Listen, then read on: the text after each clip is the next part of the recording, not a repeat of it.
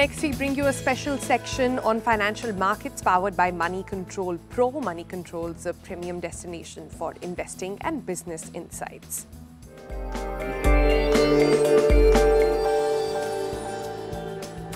Let's start with markets now. GIFT Nifty indicates negative start for the Indian equities and US stock markets closed lower as well as uh, minutes of uh, the Federal Reserve meet suggested worries over inflation.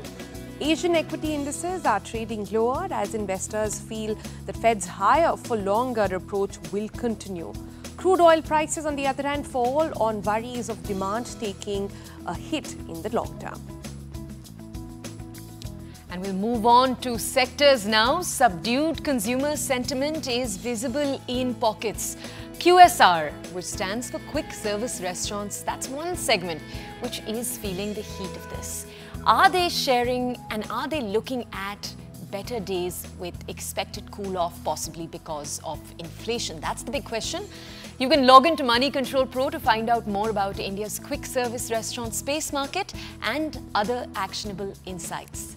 It's the premier destination for all the investing views and financial insights that you're ever going to need, brought to you by Money Control.